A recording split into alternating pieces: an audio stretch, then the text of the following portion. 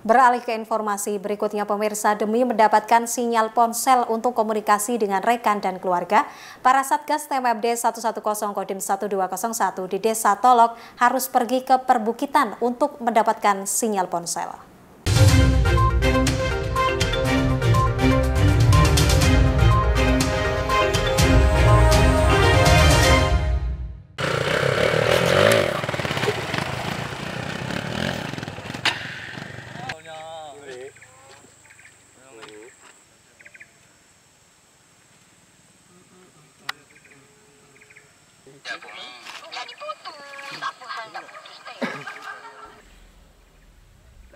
Lokasi dilaksanakannya TNI Manunggal membangun desa TMMD 110 di Desa Tolok, Kecamatan Menyuke, Kabupaten Landak, yang terisolir dari sinyal telepon seluler, membuat Satgas TMMD 110 dari Kodim 1201 di setiap akhir pekan harus mendaki perbukitan untuk mendapatkan sinyal ponsel.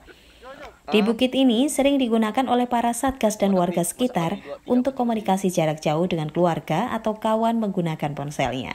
Seperti yang dilakukan Satgas MMD Prada Pabayo saat melakukan video call dengan keluarganya via ponsel. Oh, lemah. Masa baru? Baru.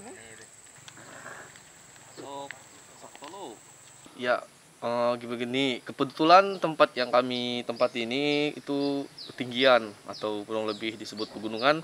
Jadi di tempat ini kita para satgas uh, temu kangen bersama keluarga melalui video call melalui handphone. Jadi di sini kita cari spot sinyal untuk menghubungi keluarga di rumah. Ya kita di sini pun bersama warga warga-warga di tempat di sini untuk cari sinyal. Jadi warga-warga di sini juga ikut uh, temu kangen bersama keluarga yang jauh dari desa ini, desa Tolo.